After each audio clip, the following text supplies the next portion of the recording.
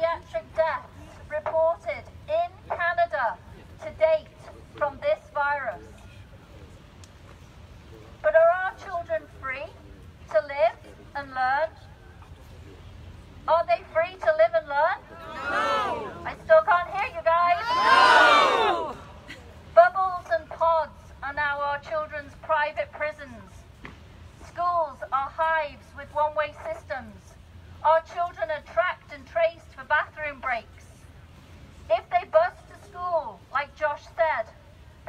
Masked from dawn till dusk. I've heard from bus drivers who've cried over the regimes required for children to board their buses. Imagine your child fearful of holding a hand in friendship, afraid of a buddy's arm around them in a moment of crisis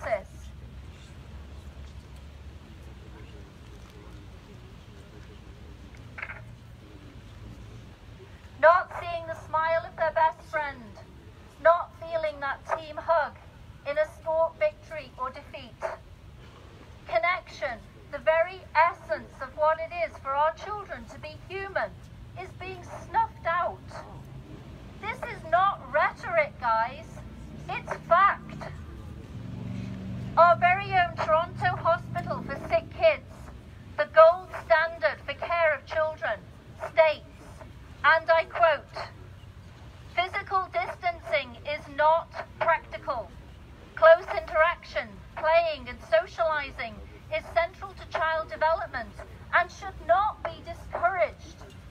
So why? Why are our children separated from their friends? This is nothing less than physical and psychological abuse.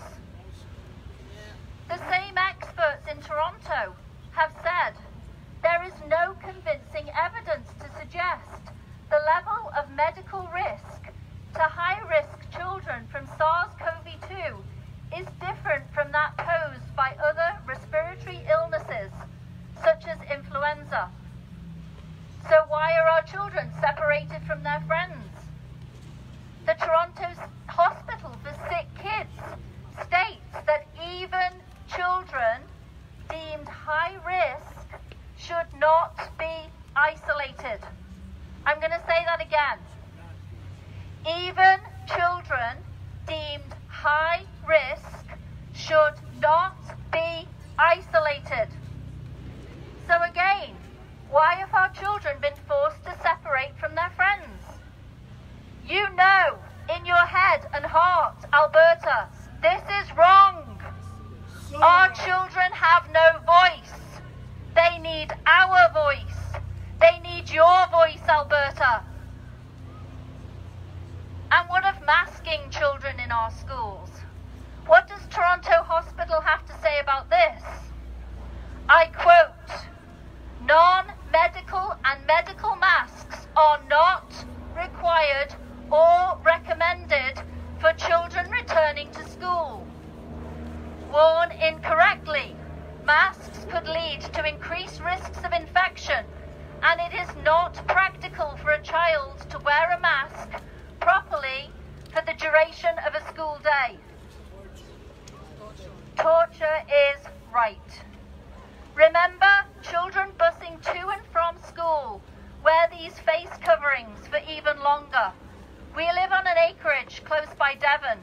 That would mean that those children were masked literally from dawn till dusk if they're picked up first and dropped up dropped, dropped off last. The same experts state there is a lack of evidence that wearing a face mask prevents SARS-CoV-2 transmission in children. We all know that is absolutely necessary for communication between parent and child, between teacher and student. Yet our youth are condemned to existence in a mask. But there is a purpose for this. They are no longer seen as individuals. They are silenced. They are suppressed. History is littered with examples of masks used to silence and control those forced to wear them. How is this unnecessary barrier justifiable when all credible evidence otherwise? I have four border collies at my house, so this one rings a bell for me. Not even animals wearing a muzzle or caged endure such barbaric treatment. Do we want our children to live like this? No! Louder, guys. No!